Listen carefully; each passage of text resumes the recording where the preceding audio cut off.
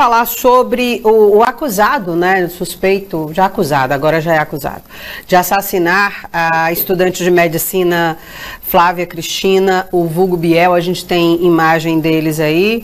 Uh, o que que acontece, né? É, foi durante o período em que o rapaz foi identificado. A gente tem imagem dele e a gente tem informação. A, a última informação que se tem sobre esse rapaz é que ele já tinha sido condenado a oito anos de prisão e estava aguardando aí a apelação em liberdade. Eu vou deixar o Feitosa comentar, porque ele já tinha cantado essa pedra e ele já tinha falado, mesmo antes de todo mundo, de toda a imprensa, apurar é, a, a, o histórico desses rapazes. Feitosa já tinha cantado a pedra. Esse povo já tem um histórico na polícia, já tem passagem criminal, né? Passagem pela polícia. Feitosa Costa, não surpreende, né? Não surpreende ah. o fato dele. É, é, Aline, isso é um escândalo, né? Isso é um escândalo. O cara já era condenado. É. O cara já era condenado por um homicídio. Estava na rua assaltando, matando, esperando a decisão se ia para cadeia ou não. Isso é um escândalo, minha gente. Isso aí não pode mais continuar de forma nenhuma. Até quando isso vai funcionar? Até quando a justiça brasileira vai colocar, vai, vai, vai, vai continuar com esse projeto que não tem resultado nunca? Que não dá resultado nenhum. Se nós tivéssemos um histórico de que a benevolência com o bandido estaria melhorando o comportamento, melhorando o comportamento deles, aí é outra história. Mas é o contrário. De, há quanto tempo essa benevolência, esse apadrinhamento de bandidos vem ocorrendo nesse país? Há décadas. E o que que melhorou? Só piorou. Então, por que não chega o momento de os políticos brasileiros, o Congresso Nacional, aprovar, primeiro, a redução da maioridade penal, segundo, o endurecimento das penas, transformar em crimes hediondos esses crimes cruéis que estão sendo praticados. Prisão em segunda instância. O que é que está faltando para isso, minha gente? Se está provado que a benevolência, vamos dizer assim, o carinho que se tem por bandido nesse país há décadas não deu resultado, por que então não testar o, endurecimento das leis? Por que não? Nós temos que chegar a esse ponto.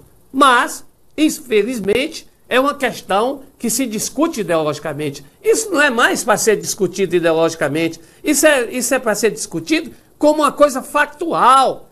Isso é um fato. Eles estão acabando com as pessoas, estão matando as pessoas de bem. E nós vamos ficar assistindo e com discurso. Não dá, não dá. Isso é um escândalo a questão desse Biel. Isso é um matador. Isso é um sujeito sem recuperação. Me provem aqui que esse sujeito tem recuperação. Prove aí algum cientista desse aí que, que fez pesquisas, isso e aquilo outro. O que eu sei é que não tem. O que o histórico dele diz é que não tem. O que o histórico de gente como esse Biel diz é que não tem jeito. Então, meu amigo, endureça as leis, mantenha essa gente na cadeia. Feitosa, e a gente percebe aí, a gente tem imagens do momento em que ele foi apreendido, né? Ele bem arredio com a imprensa, olhando, falando, encarando. E no momento em que ele deu a entrevista, chegou a dizer que, o depoimento, né? Chegou a dizer que a, o tiro na estudante de medicina foi efeito colateral Sim. do assalto. É. Né, de uma frieza, sabe, de se espantar, de se é, assustar mesmo, e, e continua aí. E o pior, é como você falou, é, ele já tinha sido condenado. Nossa, então, quer dizer, se ele tivesse preso, talvez a estudante ainda estivesse viva, né? teria sido impedido esse outro crime. Mas está aí, né? Flávia, Flávia Cristina, 23 anos, 23 anos, estudante de medicina, um futuro promissor, né? Poderia ser uma excelente médica, salvar muitas vidas e perdeu a vida para um rapaz que já era condenado a oito anos de prisão e estava aguardando em liberdade. É um absurdo.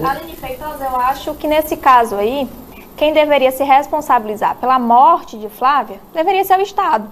Por que, é que o Estado não está com ele preso? O juiz que não o manteve preso. Exatamente, Feitosa. Por quê? Representante do Estado. Exatamente. O juiz que não o manteve preso. Eu, eu, eu, eu sempre, viu, me permita aqui, é, é, me desculpe aqui interromper, só para eu colocar esse dado aqui. Eu sempre é, critiquei é, é, a imprensa, a parte da imprensa, que não tem preocupação em dizer qual foi o juiz que botou o sujeito na rua. Eu acho que ele tem que ser colocado. Foi estar tá solto por decisão do juiz fulano de tal. Certo? Uhum. Mas não, é uma coisa superficial. Não, a justiça soltou. Claro, a instituição. Mas ela tem um agente. Sim. Ela tem um agente. E vou lhe dar um exemplo de quando se quer manter as pessoas na cadeia, se mantém. Querem um exemplo aqui? Para não ter contestação? Há quantos anos o Correia Lima está tá preso? Hein? Há quantos é. anos o Correia Lima está preso? Quando quer deixar Correia Lima cometeu crimes terríveis? Cometeu, mas essa gente também. E o Correia Lima está lá, preso. Há décadas. E dificilmente sai. Certo? Desde 98. Olha, desde 98. Eu até assisti a prisão dele, estava no aeroporto, inclusive quando ele jogou o celular no Magno, cinegrafista de saudosa memória. Acompanhei esse caso todinho do crime organizado. Ele está preso. Ninguém solta. Por quê? Hum? a sociedade já também Porque colocou... na hora que soltar, aquele que soltar vai ser exposto pela sociedade. Sim. É verdade. Certo? É verdade. Exatamente. Eu, eu queria saber, Feitosa, quem é Mas ele já tem atenuantes para ir para rua. E não vai, porque ninguém também tem a coragem de soltar. É... Eu quero saber, Feitosa, quem é que se beneficia com esse aumento da criminalidade. São os juízes. Por que, que os juízes são tão benevolentes, como você fala? Por quê? Porque a polícia, a gente vê que a polícia está lá fazendo o papel dela. o papel dela. E a quero dizer tá o seguinte, nós temos uma das melhores polícias do Brasil. A Polícia Civil, especialmente, a Polícia Militar também é muito dedicada. Mas a Polícia Civil do Piauí tem excelentes delegados, excelentes investigadores, excelentes escrivães. A Polícia Civil do Piauí é responsável pelo desvendamento de inúmeros crimes. Aqui são pouquíssimos é os crimes misteriosos no estado do Piauí. Pouquíssimos. Todos desvendados, todos elucidados por delegados e policiais civis do estado do Piauí, que mandaram seus inquéritos para a justiça, robustos, preparados. A Polícia Civil do Piauí, ela obteve, nos últimos 25 anos, ela cresceu de uma forma impressionante, é uma referência. Nós temos delegados, se eu for citar o nome aqui, eu vou cometer injustiça com os outros. Por isso que eu não quero citar. Mas nós temos aqui grandes delegados, grandes delegados, vou lhe dizer bem aqui, no esclarecimento da morte do crime do, do Donizete Adalto, da morte do Donizete Adalto, nós tivemos delegados que sacaram aquilo ali e foi rápido, através de, de, de, de minuciosa investigação, certo? Então, a polícia faz o papel dela.